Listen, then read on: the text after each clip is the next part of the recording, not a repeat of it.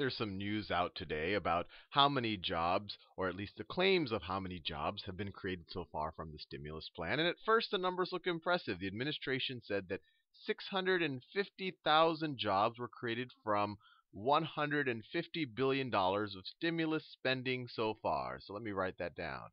650,000 jobs jobs from 150 billion that's a thousand million from 150 billion of spending. So what does that turn out to on a per job basis?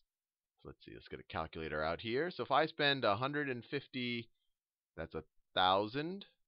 That's 150 million, right? That's 150 million. 150 billion. If I spend 150 billion dollars to get 650,000 jobs, so let me just divide by 650,000, I get to $230,000 per job.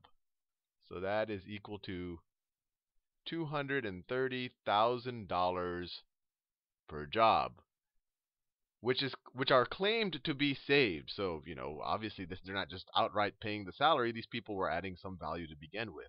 So these were clearly very good jobs. So $230,000, I think is fair to say, then is more than the majority of us make. So these are very good jobs. Very good jobs.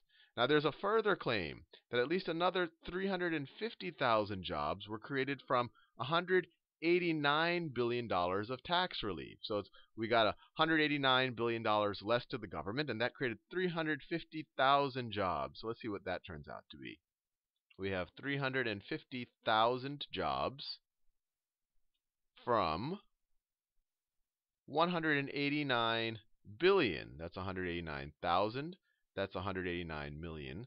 That's 189 billion in tax relief. In tax relief. So let's see what that is on a per job basis. Get the calculator out.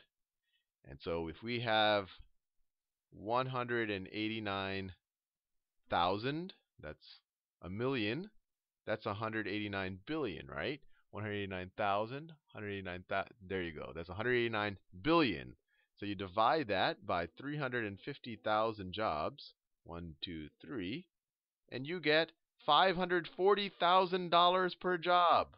So this is equal to $540,000 per job which are even better than the $230,000 jobs that we, we were able to save with the $150 billion. So clearly, some very highly paid people are being able to keep their jobs by virtue of the stimulus package.